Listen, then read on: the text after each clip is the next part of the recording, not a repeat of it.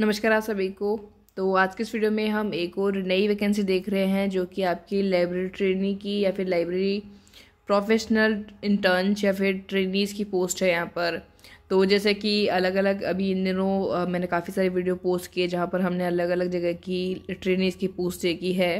तो ज़्यादातर क्वेरी ये रहती है राजस्थान के कैंडिडेट्स की कि आ, हमारे लिए भी कोई वैकेंसी है क्या? तो बिल्कुल ये जो वैकेंसी है वो स्पेशली राजस्थान के कैंडिडेट तो ये आपकी जो भर्ती आई है ये आपके आईआईटी जोधपुर की तरफ़ से आई है। जोधपुर ने ये नोटिफिकेशन जारी किया है। यहाँ पर जो पोस्ट है वो चार है नंबर ऑफ़ पोजिशन और पोस्ट का नाम आपने देख लिया है प्योरली टेम्प्रेरी और कॉन्टैक्ट बेसिस पर रहेगी। और यहाँ पर हम बात करें एसेंशियल क्वालिफिकेशन की तो masters of library information science equivalent भी ऑप्शन यहाँ पर दिए हुए हैं, लेकिन आपको ध्यान में रखना है, जिन्होंने पास की हो इक्कीस और बाईस में, वो एलिजिबल होंगे यहाँ पर। तो ये चीज़ भी आप ध्यान में रखिएगा मास्टर्स वाले एलिजिबल हैं।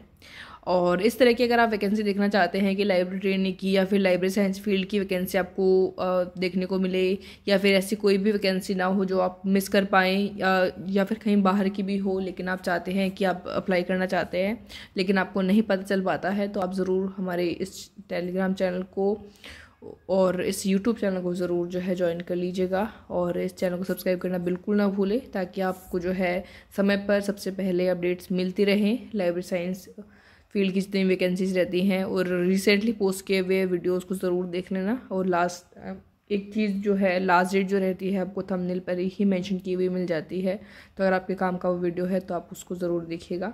काफ़ी सारी वैकेंसीज अभी आई हुई हैं। उनमें अगर आप एलिजिबल हैं अप्लाई कर सकते हैं तो ज़रूर देखिएगा। टेलीग्राम चैनल भी है, वहाँ पर भी वैकेंसीज की नोटिफिकेशन डायरेक्ट सेंड कर दिए जाते हैं। ग्रुप भी बना हुआ है डिस्कस भी कर सकते हैं आप एक दूसरे के साथ। सिलेक्शन प्रोसीजर जो आप करेगा रिटर्न टेस्ट ट्रेड टेस्ट या फिर पर्सनल इंटरव्यू जो रहेगा। इसके अलावा रेमोनेशन की हम बात करें तो twenty five thousand per month है। एज लिमिट भी यहाँ पर ट्वेंटी एट ईयर्स है। और लीव जो है हम बात करें आपकी सी एल जो आपको मिलेगी, वो एट डेज़ की मिलेगी।